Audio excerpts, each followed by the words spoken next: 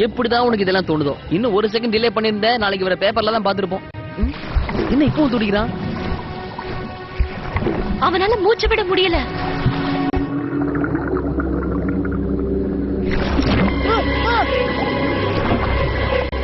Wait பண்ணு. அந்த fish இவனோட உயிரையே காப்பாத்திருக்கு.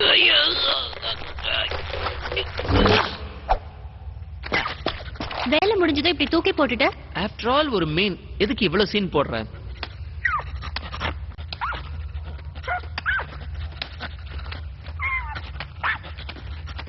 அங்க என்ன இருக்கு? பைசஸ் கிராவிடேஷனல் மல்டிப்ளேயர் இருக்கு. எங்க பிளானட் சதுராம இருக்கிறதுக்கு தேவையான ஃபோர்ஸ் அதுதான் கண்டினியூவா கிரியேட் பண்ணிட்டு இருக்கு. இது என்ன வம்பா போச்சு? இங்க இருந்து போ.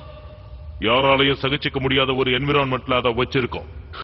அப்போதான் எனிமிஸ் கிட்ட இருந்து ப்ரொடெக்ட் பண்ண முடியும். இந்த இடம் ஒண்ணும் அவ்வளவு மோசம் இல்லையே.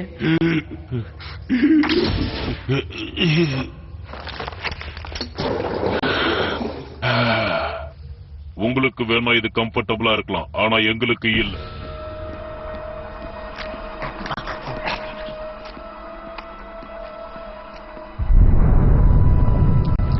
இந்த நடுக்கத்துக்கு அந்த மிஷின் தான் காரணம். அது மட்டும் தெரியுது.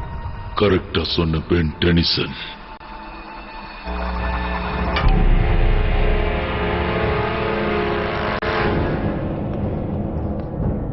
இது மட்டும் இல்லனா இந்த மொத்த பிளானட்டும் கீழே விழுந்த கண்ணாடி மாதிரி செதறிடும்.